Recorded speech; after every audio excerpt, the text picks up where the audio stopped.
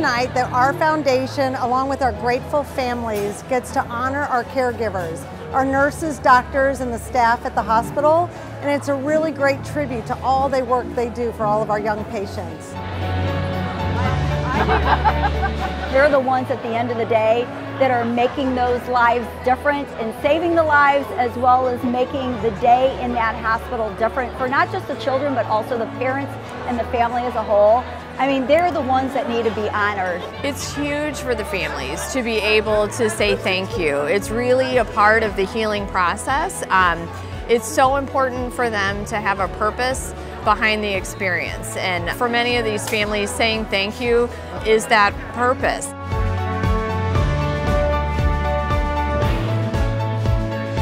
I was stunned at his humility, uh, his willingness to admit that when things go wrong, it's not a sign of failure, it's just progress. It's just getting through to the next step and figuring out what's going to work, what's going to make him better.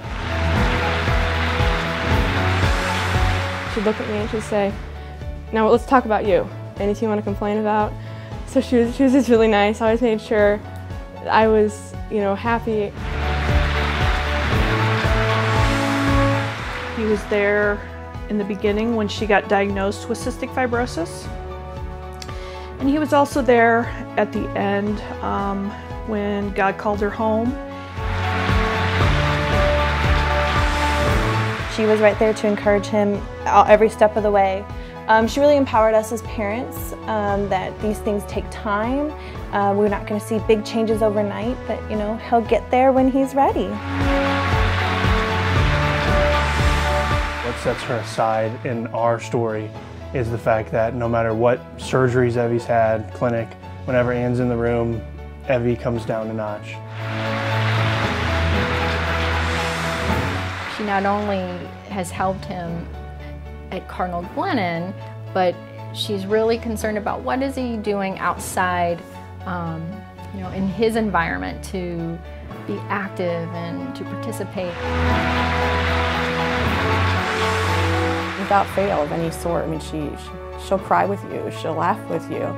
She just, she shows all of those feelings and all those, you know, right what you're feeling, she's right there with you, you know, every second. It was just always a bright spot, you know, no matter how blue the day was for Tiffany, you know, when she was in pain and she was hurting, she would just, she just always put a smile on her face. It was always just kind of a highlight to wake her up and, and just to make her feel good. They have made such a difference in our children's lives. They are thriving and just developing beyond words. At least uh, once a week, um, I hear from a family that somehow says, how's Mary doing? What's going on with Mary? Uh, oh, she's so wonderful to talk with. Um, she's really been my big help.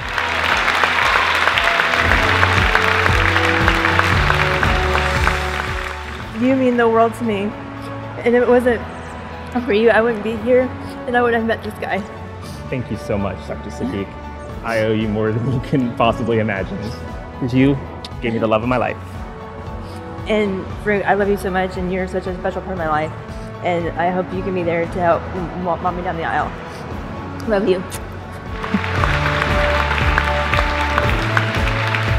So much of what you do as a nurse, yes, it's out of uh, what you were taught, but so much of it is from your heart that when you realize that people felt that it was from your heart and not just your head, it's pretty amazing. It brings you to tears and makes you feel so humble that, uh, you know, that God has blessed me with such, such, uh, such blessings and such uh, beautiful families that I can take care of, and how truly, truly, we really reveal the healing presence of God. I mean, I, I I take that totally to heart every time I come to work.